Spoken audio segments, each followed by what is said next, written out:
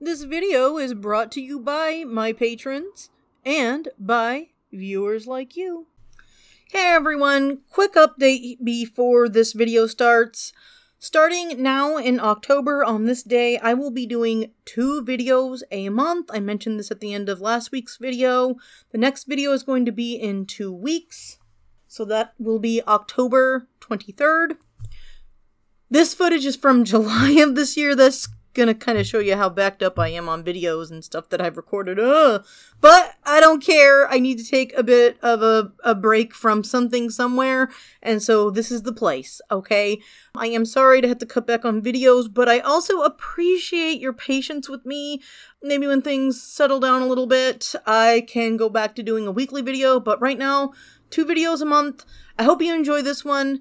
Without further ado, here's my review of Stages of Rot. Greetings, groovy people. Welcome to Blue Dragon Art. I'm the self-proclaimed Blue Dragon. I've been doing a lot of reading this year. Hold up, let me turn off my fan. Not quite as oppressive this week as it was last week at time of recording. yeah, so this is an art-related channel. I talk about independent comic artists and comics mostly. I don't really talk so much about the artists. What a joke, Blue. Um, I read things and I talk about them. I make things and I talk about it. I do stuff and I talk about it. Yay, I'm good at talking. anyway, or at least I'd like to think I am. Anyhow, okay, enough being silly. I've been doing a lot of reading this year. Part of it's with the Discord group that I'm in, and at some point I'm going to be talking about the book Minu that I just got done reading, but we're going to have like our book club and everything. Um, it's by an author who's part of this Discord group. And I've actually really been enjoying her writing, but that's not what this video is about. I have in Meat Space friends as well, believe it or not. It took me years. I mean, we were in a lockdown, but, but I finally been making like in-person friends as well as you know i still write some of my friends from like college and stuff. And i get a lot of book suggestions um, things to read. So this year i've been really really trying to to keep up with the suggestions that people have been giving me. And this is a graphic novel that one of my uh, my in-person friends let me borrow. She is always giving me books to read and comics, and so um, her girlfriend also, uh, or I should say her partner, also has given me some stuff to read. So I mean, I've been trying to do, you know, trying to to to read stuff that people suggest to me, and because um, my one friend is really big into graphic novels and comics as well as I am. Uh, she oftentimes will give me like comics to read, and I don't really want to talk like I'm not going to do like an in-depth review of this book, Stages of Rot. Uh, I'm going to butcher this woman's name, so I will just put it up on screen. I think it's Linnea Start Startra is how I would say that, but I don't know where she's from. I tried to look it up lazily before starting this video, and there's no Wikipedia, so, you know, my research is done. No, I'm kidding. I went to like her Twitter, the Twitter's gone. I went to Goodreads, it just talks about her books. Like, I mean, that's important, you know. The books are probably more important than, you know, personal effects. But then again, you know, art is so incredibly personal that it is, you know, I don't know when I'm treading the line of being nosy and, you know, just wanting some general information and background on a person. I'm sure there's information. Look, I'm going to open the, the flap and there'll be something about her. No, it's it's just about the the story here. I I don't know where she's from. If anybody knows, somebody please tell me in the comments. Maybe when I edit this video, I'll look it up and stop being lazy. Um, but I wanted to get this out of the art room before I destroyed it with ink and gouache and water and shit, you know, and graphite and crap like that. I, I want it out of my art room because I, I, will destroy it by accident, inevitably, if I don't get it out of here. Wow, that's a long intro. Uh, so anyway, this is called Stages of Rot. It's actually a 2018 Eisner Award nominee under the category of Best Graphic Album. And this is, I think, a re-release because it's now got like an additional 17-page story. Um, no words in the back, which is fine. I love I love graphic storytelling. Um, I mean, that's one of the benefits of having something that is, you know, a graphic novel. It's a picture. A picture tell has a thousand words or whatever. tells a thousand word story. that's the new saying. But anyway, I'm just kind of like gushing about, you know, why I love graphic novels so much. Like even as a as an adult, I like books that are graphically illustrated along with text. I don't think there's anything wrong with having pictures. I don't know when that weird fucking stigma started being put in place because like if you look at a lot of novels and stuff from like the 1800s and even the the early 1900s, you know, there's there's pictures and books. I don't know why we stopped doing that and why we thought it was smarter to just have words and not, you know, include art too. I don't even know if that's the reason. It's probably like a cheap, cheaper way of publishing shit. But anyway, uh, what do I know? What do I know? None of that is like fact checked. Okay, you guys, it's just me spewing out my silly thoughts. But at any rate, one of the things that I really love about graphic novels is the ability to tell stories without words and this is a, a story that is very minimal in text. It's okay, so I mentioned that it's Stages of Rot, but essentially it's on an alien planet and it goes through the centuries of this space whale. I, I get the idea that it's it's not just a space whale, there's some kind of symbiotic relationship between the space whale and this homunculus pilot. Um, but at any rate, I don't want to like give I mean spoilers. I mean, I don't know that you can really give a spoiler. This is something you really gotta read, y'all. I can look, show you the pages, and you ain't gonna know shit of what's going on without actually reading it, but you will have an idea of what's going on without reading it, just because the, the artwork is so fantastic. But it's on an alien planet, and this space whale dies, and its carcass comes through the atmosphere and lands upon the planet. And the story uh, entails like different civilizations from when it first landed on the planet and people scavenging it to uh, when mushrooms uh, and fungi start breaking it down um, and a different culture which uses its bones to create artwork that tells the story um, of the creature. It's really just fascinating. Then there's like some other there's other cultures that it goes through until eventually it comes to what I presume is quote unquote modern day when a scientist, um, archaeologist, zoologist, whatever it is, um, whatever they are, they um, find the the the hum, the homunculus and bring her to a museum. And it's just it's just gorgeous the the artwork in this. It reminds me of um, Fantastic Planet in a way, if anyone saw that animated film. Um, only Fantastic Planet is very bizarre and it's got more like, it's got dialogue and stuff to it.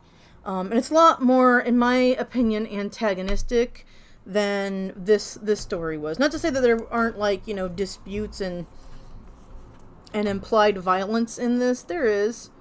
Um, but it's not anything in the sense of Fantastic Planet on that that spectrum, but it is, you know, an alien planet and it's kind of looking at different alien cultures um, in a similar way. And it also has kind of like I want to say a similar color palette. Oh, this this color palette is just fucking gorgeous. I just love the teal with the salmon. It's so pretty. It's so well done. Um, but yeah, it kind of reminded me of that. I mean, just in the in the fact that it was like you know an alien planet with different cultures and and the color palette. But I don't want to like belabor this. This is something that I really can't explain very well in words. It's something you have to read yourself. I feel. I, I feel like I always say that, but I mean it's such an easy read. Like there, it's so. I say it's an easy read, but what I mean to say is there's very little text, um, but there's so much detail in the pages, and I mean, it flows very, very easily. But it's something where I found myself going back and looking at pages and panels over and over again, just kind of absorbing it into my being. It's just very I don't know, it's one of those things it's like I grew up loving stuff like Graeme Base's uh, Animalia.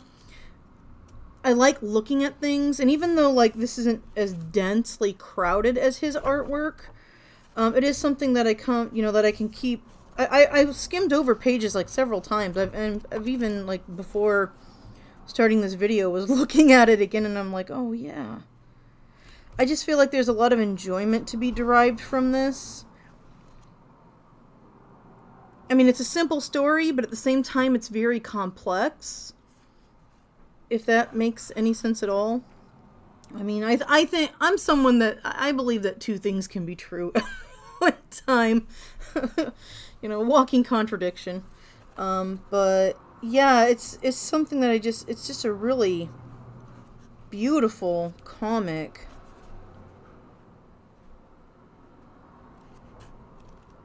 I think I read this in like one sitting. Um, I just sat down and I enjoyed it. Like I started it and then I restarted it because I was like, oh well, this is something that I just want to take in all at once. I've been finding myself turning off the computer a lot more at night um, I've been, I mean, I still am playing video games, but I've just been trying to like detach a little bit from like the computer just because I've been getting so stressed. So I've been really trying to enjoy the, the the books and things that people have been giving me to read, letting me borrow, or like telling me to read. I check things out of the library. Um, something else that this reminded me of last year. Now this is totally different, and I don't. I wouldn't even want to say it's it's like the same thing, but it reminds me this dude was walking around the Portland Zine Symposium, and I, I showed off a little bit of this. Um, but he was at the, the Zine Symposium last year um, selling his stuff. But he was also like trading his artwork with people. And um, holy shit, he just gave me this. Like, I gave him some stuff, but then he came back and gave me more of his stuff. um, I just it's kind of cool because like the coloring is what I'm saying. Like you can you can see what I'm talking about and how this is an independent artist. You all can check them out. They're on um or he's on Instagram.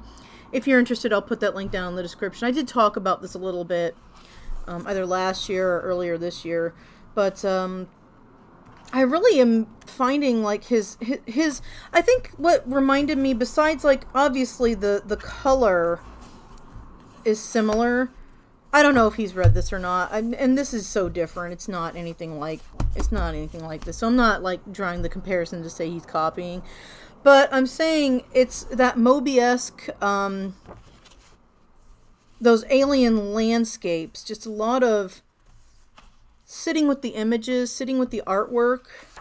You don't have to have a lot of distractions. You don't have to have a lot of noise. You can just have the image and that's kind of what this reminded me of, was this guy's art. Only this one is obviously a little more detailed, and this is black and white. Um, nothing wrong with that. I, I mean, his use of space and his composition. I've been meaning to study this a little bit more. Because um, my artwork's very different, but it doesn't mean that you can't pick up things from other artists, you know? Something like this.